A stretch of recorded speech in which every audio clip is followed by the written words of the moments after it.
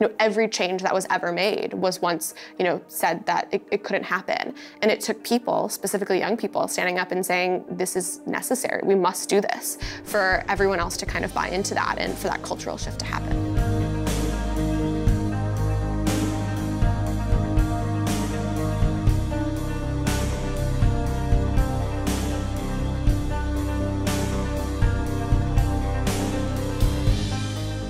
Think that young people now are becoming more aware of the climate crisis in a way that's a little bit more concrete.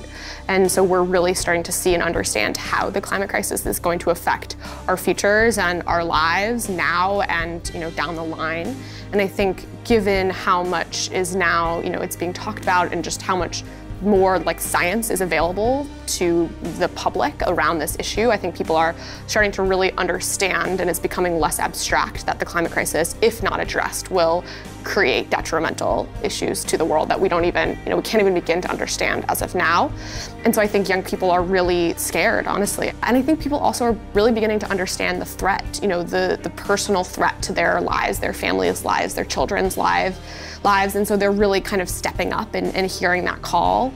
I think it's going to be really important that world leaders hear the call from young people and really take it into account in their own decision making. I think that, you know, when it comes to world leaders, I think that people are lacking courage a little bit to sort of stand up and say this is something that we need to prioritize and we need to take radical and bold action on.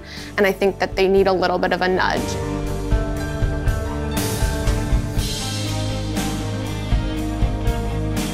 That needs to just be met with, you know, when you look at history, everything that was worth doing was once said to be impossible. You know, every change that was ever made was once, you know, said that it, it couldn't happen. And it took people, specifically young people, standing up and saying, this is necessary, we must do this, for everyone else to kind of buy into that and for that cultural shift to happen.